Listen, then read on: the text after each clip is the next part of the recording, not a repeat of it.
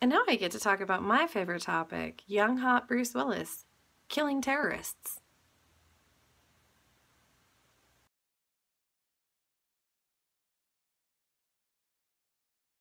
Hello friends! Merry Christmas in July again! If you've made it all the way through the previous two videos and you are here to watch this third video on day three of our Holidays with Jane um, Christmas in July event, you are a saint and my new favorite person. Um, make sure to, if you haven't watched them, to check out the videos where I talk about gender flipping Mansfield Park and my story It's a Wonderful Latte um, and then inventing Mansfield Perk, um, which I think we all agree should exist. So if anybody um, who has a, a lot of money lying around and wants to invest in a coffee shop, a Jane Austen related coffee shop, please see me um, because I will be your best customer.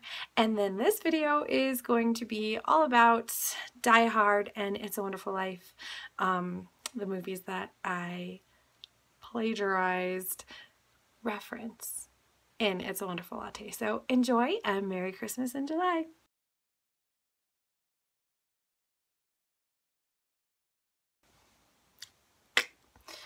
Um, so for the last topic, um, I am also equally vocal about how much I love Die Hard um, as I am about how much I do not love Mansfield Park.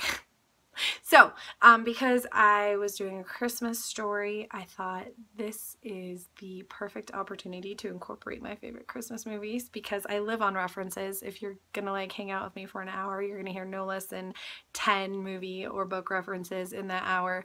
Um, so I also am kind of known for adding those references to my stories because um, those are the kind of characters I write, the kind that are gonna like quote the Princess Bride at you. So because I also am to quote the Princess Bride at you.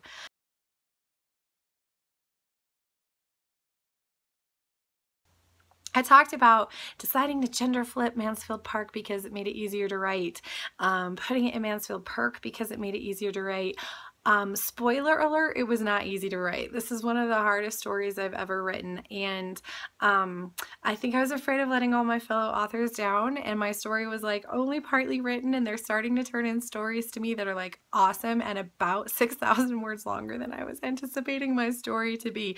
So I I had some um, additional pressure to like up my game and make this a great story. So um, that is when the um, the frame tale, because I also love metafiction, kind of came in of Jane Austen being kind of like the Clarence character in It's a Wonderful Life and being sent to Earth to um, help Evie realize that she really is living Mansfield Park, that she really is Edmund in a skirt, as she realizes near the end, and um, that she's missing Frank, who's right in front of her face, um, just completely missing it. So um, she is Jane, um, or the Jangel, as Evie and her cousin Izzy call her, um, is sent to Mansfield Park in Los Angeles by Samuel Clemens, by Mark Twain. And I thought that was kind of fun because um, of Mark Twain's very famous commentaries about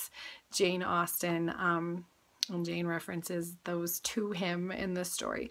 So what I decided to do was kind of create that frame tale of It's a Wonderful Life um, around the Mansfield Perk story so that um, we kind of got a little bit of ridiculous magical elements um, my fellow authors know that sometimes it's really hard for me to write straight modern fiction that doesn't have a magical element. So what I did is I let myself be as ridiculous as possible in this story and have an angel Jane Austen and Samuel Clemens and um, tons of references everywhere. So this is a Christmas story. So there's your It's a Wonderful Life references, but this is a Christmas story and it's set in Los Angeles as um all, most all of my stories are. Um, and you can't have a Christmas story set in Los Angeles and not talk about Die Hard because Die Hard is, to me, the quintessential LA movie and the best Christmas movie ever. And even though it was released in the summer, it was like a Christmas in July event, just like we're having. Um, it is my favorite Christmas movie and if you don't think it's a Christmas movie you can fight me because I will die on this hill. So I do have the references throughout the story um, of Die Hard and actually that's when Frank became an Asian character um, I didn't have any concept of who Frank was other than that his name was Frank because that was the feminine of Franny for me. So, um, and then all of a sudden he walked in and he was Frank Nakatomi. Um, and that's when I was just like, oh, I'm going to be ridiculous. And this is going to be like my favorite, like, Die Hard reference, Lollapalooza, and it's going to be great. So, um, anyway, I'm totally off track here. Die Hard to me is one of the best Christmas movies because it encompasses everything that Christmas is about, which is wanting to be with your family, um, resolving your family issues for Christmas, for the holidays, um, and killing people. So killing terrorists. Um, the, the other thing that makes Die Hard the best movie um, or Christmas movie in my opinion, um, two things. Young, hot Bruce Willis. I mean, really, like, let's just stop the video there. I'm kidding, I said two things. So, young, hot Bruce Willis, obviously, and Hans Gruber, played by young, hot Alan Rickman. And this is like movie magic.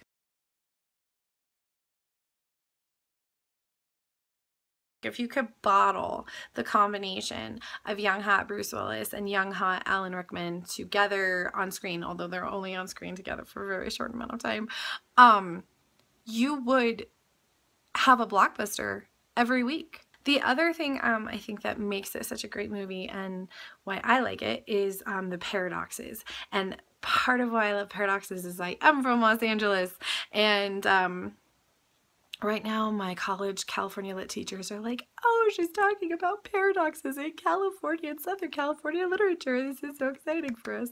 She listened in class. But that's part of why I love LA. Um, it is truly the land of paradoxes, and that's why Christmas movie in LA is so awesome because when you think Christmas movie, you think Rocky Mountain Christmas, you think um, snow and lights and hot cocoa and Santa Claus. And what we have in um, Die Hard is absolutely none of those things. We have Bruce Willis killing terrorists in a high rise in Los Angeles, and yet it works because um, at the core of the film is what Christmas is really all about, and that is um, being with your family, being with your friends, making sacrifices for your family and friends.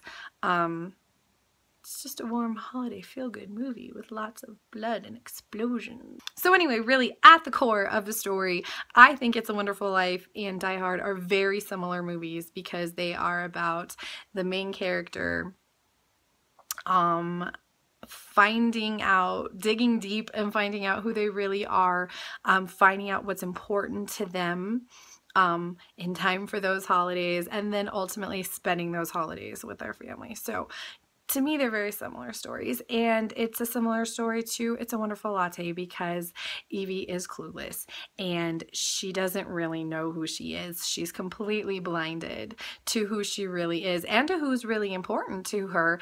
Um, and it takes a visitation from her version of Clarence. Um, Heavenly Jane Austen to open her eyes to what's important to her in time for Christmas.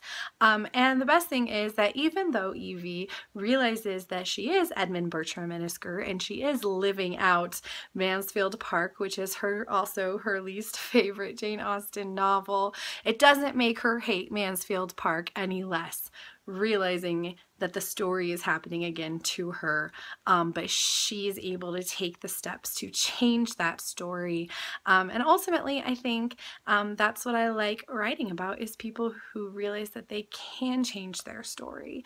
Um, so anyways, that's my spiel about It's a Wonderful Latte. And I actually did, um, I won't say I enjoyed writing it because it was really hard to write, but I enjoyed reading it after I'd written it. Um, and I hope that you, if you have read it, um, enjoyed it. And Merry Christmas, even though it's July.